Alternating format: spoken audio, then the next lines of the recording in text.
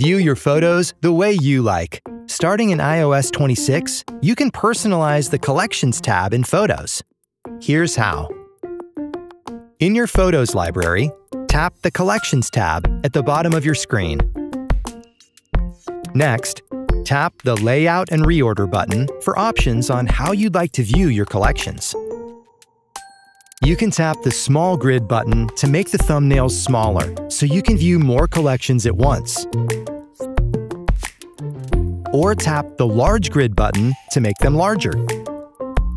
If you tap Reorder, you can reorder your collections to your preference. Let's move featured photos to the top. Just touch and hold your selection, then drag it to where you want. When you're finished, tap Done. Love this! And that's how to personalize the Collections tab in Photos.